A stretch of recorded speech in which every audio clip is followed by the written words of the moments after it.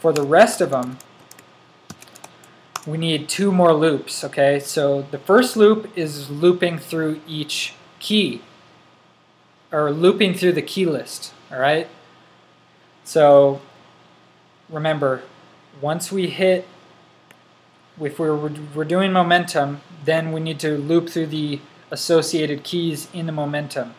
So for j in key list i, okay, because we're looping through the ith we're, we're I know it's kind of complicated, we're looping through the the ith element of key list, which is just one of these upper level keys like momentum key, stochastic key. Okay? And then once we're in here, we want to loop through the columns of that dictionary according to that key that we're on. All right? Because most of each key for each period, we're going to populate multiple columns of data. So now we need to loop through those columns. So we'll do that by doing this. For k in list, uh, list uh, list i j. All right, so what are we doing here? So so dict list ij. So i is is the actual element. So one of these, or stochastic or Williams, and then j is going to be some key inside that one. So the keys, according to, for instance, if we're on Williams, this is basically going to give, give us all of the columns inside the Williams dictionary corresponding to the jth key. All right? I know that's kind of complicated, but just look at it for a while, stare at it, and you'll understand. And so now what we're going to do is create the column ID for this uh, element. And so the column ID is going to be the column feature plus string of j. Okay, so that's going to be a number according, uh, and j is going to be whichever key we're on, we're looking at, and then plus k. And k is the name of the column. So for instance, when we go inside the Bollinger uh, dictionary, we're going to have the name Boll or Bollinger and then uh, 15, which is the period that we're doing it for, and then K. Now, Ks can be either upper, mid, or lower since we have three Bollinger bands for each period. So it's so this is going to create three different column IDs. And then what we're going to do is we're going to set master frame um, column ID is equal to dict list and now I, J, K. Okay, so that's how it's indexed. Uh, and this took me a long time to develop how to figure out how to do this, but that is it. Now at the end of all this looping nonsense, we should have a completely populated master frame. Now that we have the master frame, we need to address a couple issues. And one of the issues is that we will have NaN values in our data frame. And for machine learning, we do not want these NaN values. So one thing that I'm going to introduce is something called the threshold. Okay? So the threshold is is going to be is I'm going to say 70% of the length of the data frame. So let's do that really quick. So we'll do round and we'll do 0.7 for 70% times the length of the master frame. So this is going to be a number according, and it's going to be a rounded number that is approximately 70% of the length of the data frame. And so what we're going to do later is we're going to say if a column does not have threshold number of actual value, number values, then we're going to just get rid of that column completely. So basically we're setting a threshold saying if we don't have this amount of data that's clean, then we're going to get rid of it. So next, I'm just going to go ahead and, and rename, I'm going to set master frame to also have the price data in it. So we're going to set some new columns by doing this. So we'll go up here, open, high, low, close, ask volume, la-di-da-di-da, set that right here. And actually, we don't need to ask volume, so let's just get rid of that guy. And then we'll say that one is equal to prices of the same columns. Oh, sorry, I am kind of being dumb right here. So right here, like that. Okay. Alrighty, and then another issue that we need to address. Heikin Ashi is resampled, so it has. Um, this means that it's going to have empty data data in in between. So what that means is that for our Heikin Ashi, if you don't remember, we resampled it to 15 hours. So that means that for a, it's going to have, it's going to line up with our other data, but for 14 hours in between each Heikin Ashi candle, it's going to be a NaN value. So what we want to do is we want to just backfill all those NaN values. So what we're going to do is master frame, and we're going to get that that uh, column that we named through this loop, which will be Heiken 15 um, open, and that is going to be equal to master frame dot Heiken 15 open dot fill na, and we're going to use the backfill method. Okay, and we're going to do this for all of the other Heikin Ashi uh, high, open, low, close. So, all right, now that we have all of those, we are going to go ahead and we are going to drop all the columns that do not meet this condition here. So drop columns that have 30% or more NaN data. Okay? because 30% is going to be the opposite of 50 or 70%.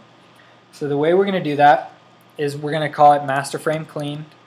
Master frame cleaned is equal to, that way we have two different master frames. Uh, and we're going to just say we're going to create it master frame.copy. That way we have a copy just in case something goes wrong and we don't lose any anything.